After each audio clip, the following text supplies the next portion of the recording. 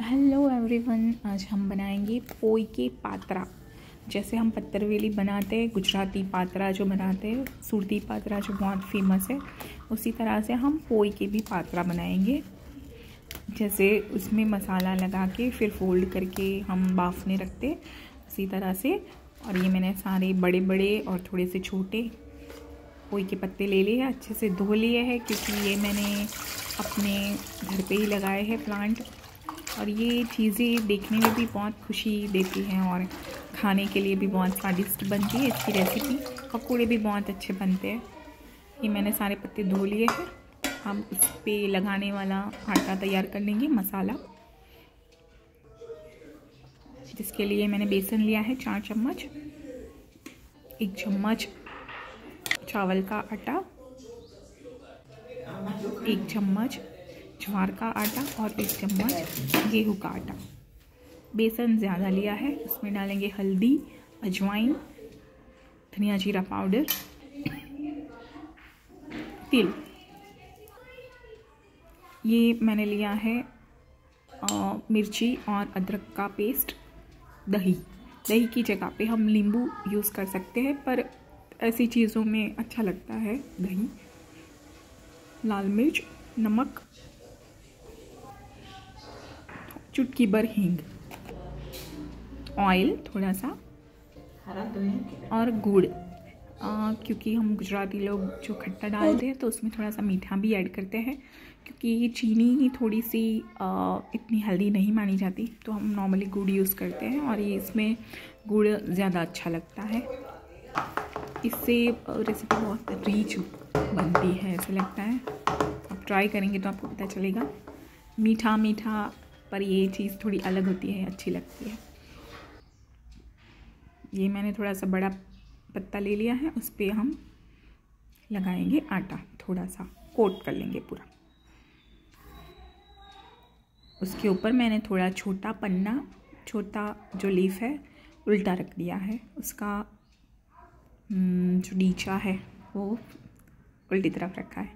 उसी तरह से दूसरा ले लेंगे और वो सीधा रखेंगे। वापस से एक उल्टा। इसी तरह से हम तीन चार लगा सकते हैं। बहुत ज़्यादा लेंगे तो भी फोल्ड जो करेंगे वो खुल जाएगा। तो इसके लिए चार, पाँच पत्ते तक ठीक है। आटा इतना पतला नहीं करना है, थोड़ा सा ठीक ताकि ये चिपके चिपके रहे सारे पन्ने। फोल्ड कर देंगे। फोल्ड करने वाली जगह पे थोड़ा सा ज़्यादा आटा लगा देंगे तो वो खुलेगा नहीं और उल्टा रखेंगे। जो फोल्ड लास्ट की, जो फोल्ड की करने के बाद जो लास्ट वाला जो पीस होता है, वो नीचे की तरफ़ रखेंगे। उसी तरह से हम एक पैन में पानी ले लेंगे, ऊपर स्टैंड लगा के एक प्लेट रख लेंगे। प्लेट को हम ऑयल से ग्रीस कर लेंगे और सारे पत्ते जो है वो एक एक करके रख देंगे, बाफने के लिए। ये हम फ्राई भी कर सकते हैं, पर मॉयल की हुआ ज़्यादा अच्छा लगता है हेल्दी लगता है। अगर तल के खाना होता तो हम पकौड़े ही बना लेते।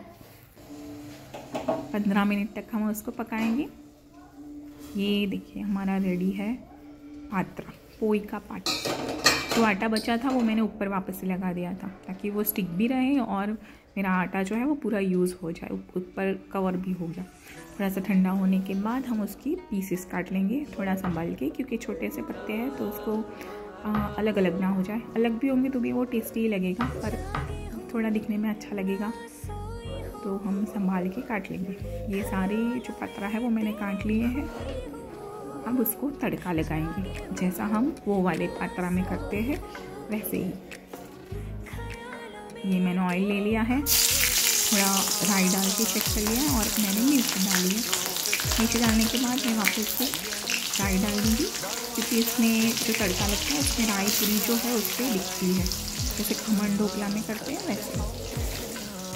सारे पात्रा मैंने ऐड कर लिया है, जो आटा गया था, उसको मैंने निकाल लिया है। ये भी बहुत टेस्टी लगता है। तड़का लगाने के बाद भरने के बाद हमारे यहाँ सब थोड़ा सा क्रिस्पी अगर पसंद हो तो थोड़ा सा जो किनारी है उसकी वो ब्राउन होने दें। पाँच सात मिनट तक पका के निकाल लेंगे।